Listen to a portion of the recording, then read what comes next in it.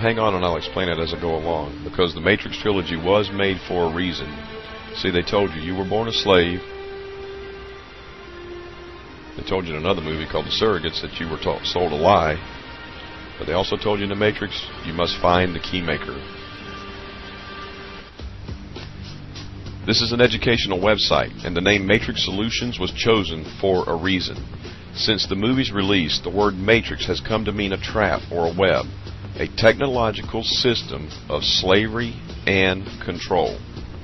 And although you may sense that this is true, most people still do not know what the Matrix is or what the messages of the movie trilogy really are.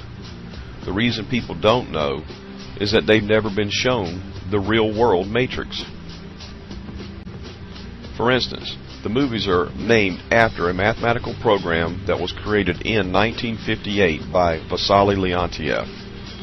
Who was Wassily Leontief?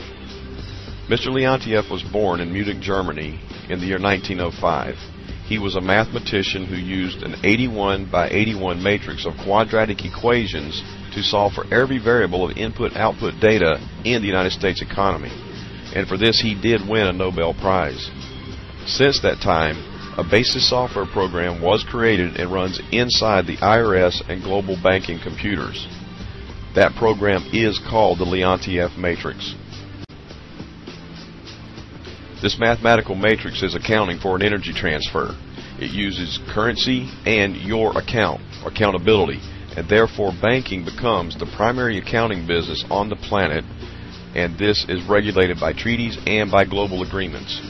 The agreements create rules that control most of your life where and when you work, how you get food and water and energy to use.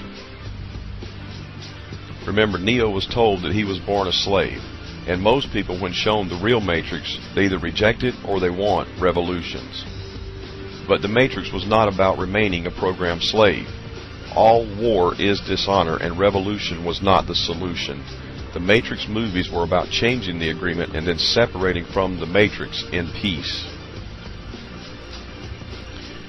And this is what the education on Matrix Solutions is about changing the agreement. Neo could see his condition because he saw the Matrix for exactly what it was.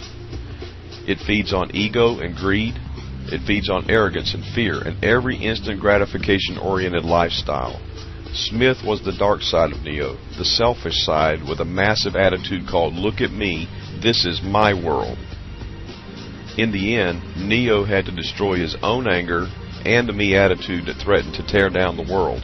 He had to accept Agent Smith for what he was and then overcome himself to make a greater sacrifice. Neo had to opt for peaceful coexistence so that both sides, Zion and the machine world, would survive and not be destroyed. And this is what you must do. The real world matrix controls come from your own agreements, contracts, and treaties which form the rules and the laws. As Morpheus told Neo, the matrix is governed by rules, and being plugged in, you are bound by those rules. Applying matrix solutions requires two things. First comes knowledge. You can't fix problems at the same level of thinking you were at when they were created. Like Neo, you must first deprogram and then reprogram. You unlearn and then learn. After that, you create new abilities within and then seize on a vision to create new agreements. This is an encoded system, and you must see the codes to get free.